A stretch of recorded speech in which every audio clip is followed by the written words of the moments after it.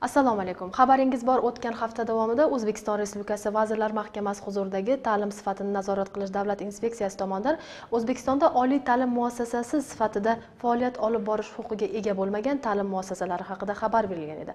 Mazkur xabardan so'ng mamlakatimiz fuqarolari tomonidan minglab murojaatlar kelib tushdi. Ushbu murojaat egalari asosan yoshlar ular ham o'zbekiston oliy ta'lim muassasalariga o'qishga kira olmagan yoshlardan iborat. Bilamiz bugun ko'plab yoshlarimiz xorijiy oliy ta'lim muassasalarida o'qishni xohlashadi va ko'plab konsalting tashkilotlar tomonidan bugun imtihonlarsiz pullar evaziga hujjatlarni rasmiylashtirib berish takliflari bildirilmoqda. Xo'sh ushbu konsalting tashkilotlari tomonidan taklif etilayotgan xorijiy oliy ta'lim muassasalari diplomlari o'zbekistonda qay darajada tan olinadi? Eslatib o'tamiz o'zbekiston respublikasi vazirlar mahkamasining ikki ming o'n to'qqizinchi yil yigirma to'rtinchi iyuldagi olti yuz yigirmanchi sonli qaroriga va mazkur qaror bilan tasdiqlangan nizomga asosan bugungi kunda mamlakatimizda xorijiy davlatlarda tahsil olganlik to'g'risidagi hujjatlarni tan olish tartibi belgilangan. Unga ko'ra jarayon ancha soddalashtirildi.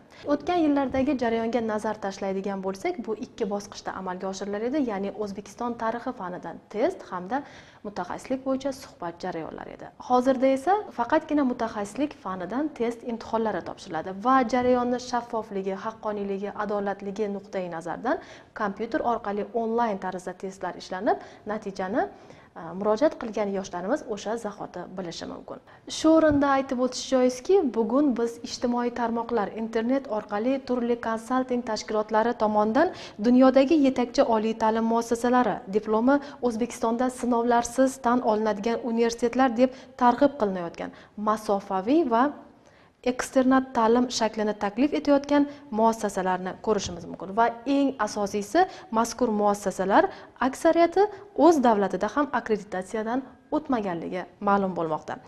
O'zbekiston respublikasi vazirlar mahkamasining ikki ming o'n beshinchi yil yigirma to'qqizinchi yanvardagi davlat oliy ta'lim muassasalarida eksternat asosida o'qish amalga oshirilmaydigan bakalavriat ta'limi yo'nalishlari ro'yxatini tasdiqlash to'g'risidagi o'n oltinchi sonli qaroriga muvofiq eksternat tartibda o'qish amalga oshirilmaydigan mutaxassisliklar ro'yxati tasdiqlangan va ushbu ro'yxatda mavjud bo'lgan ta'lim yo'nalishlari va mutaxassisliklarning ta'lim hujjatlari o'zbekistonda tan olinmasligini ma'lum qilamiz.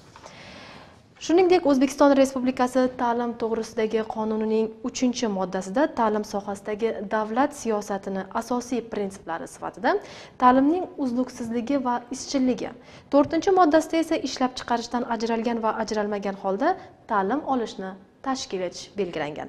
Bundan tashqari ta'lim tizimi rivojlangan davlatlar tajribasiga nazar tashlasak ham ularda kunduzgi ta'lim shakli asosiy oliy ta'lim shakli hisoblanadi. Masofaviy ta'lim shakli va eksternat ta'lim shakllari esa asosan oliy ta'limdan keyingi kattalar ta'limida va umr davomida ta'lim olishda qo'llanib kelinadi. O'zbekiston respublikasining ta'lim to'g'risidagi qonunida ishlab chiqarishdan ajralgan va ajralmagan holda kunduzgi sirtqi hamda kechki ta'lim shakllari asosida ta'lim olish belgilangan. Lekin masofaviy va eksternat ta'lim shakli ko'zda tutilmagan. Shuning uchun ushbu ta'lim shaklida xorijiy ta'lim muassasalarida o'qib olingan ta'lim hujjatlari xorijiy oliy ta'lim muassasalarining bakalavriat yo'nalishi bo'yicha sirtqi ta'lim shaklida uch yil yoki undan kam muddatda o'qib olingan diplomlari respublikamiz hududlarida tan olinmasligini bildirib o'tamiz.